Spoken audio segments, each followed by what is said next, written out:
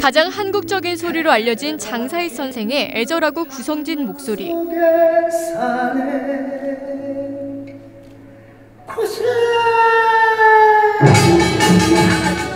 여기에 서울시 국악관현악단과 유스 오케스트라단의 아름다운 화음이 더해졌습니다. 우리 시대의 가인 장사익과 서울시 예술단이 함께하는 신년음악회가 세종문화회관 대극장에서 열렸습니다. 신명나는 국악 이야기로 2015년 공연의 문을 연 세종문화회관은 올해도 다양한 콘텐츠를 마련했습니다. 올해 어, 국악 관현악단이 창립 50주년 그리고 오페라단이 창립 30주년입니다. 그래서 4월 달에 계획되어 있는 국악 관현악단의 창립 기념음악회 그리고 오페라단에서 7월에 계획하고 있는 어, 현존하는 가장 오래된 오페라죠. 오르페오 주목할 만한 작품. 지난해 난민을 주제로 한 기획전과 미디어시티 서울 등 다양한 현대미술 장르를 소개한 서울시립미술관. 올해도 post museum에 기반을 둔 여러 전시들이 기획됐습니다.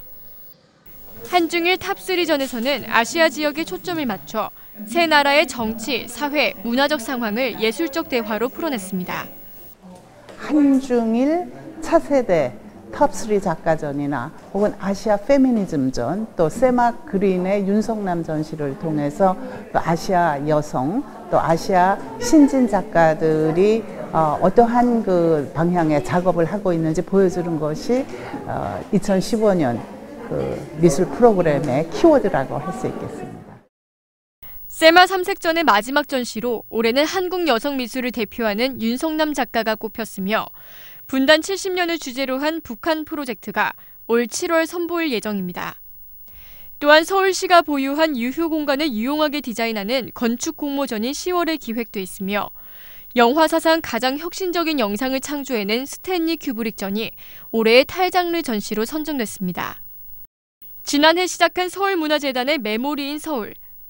삼풍백화점 사고 20년을 앞두고 당시 기억을 수집하는 이 프로젝트는 오는 6월 개시될 예정입니다. 서울시 문화 소식과 관련한 좀 더 자세한 내용은 서울 문화 포털 사이트를 통해 확인할 수 있습니다. TBS 홍정입니다.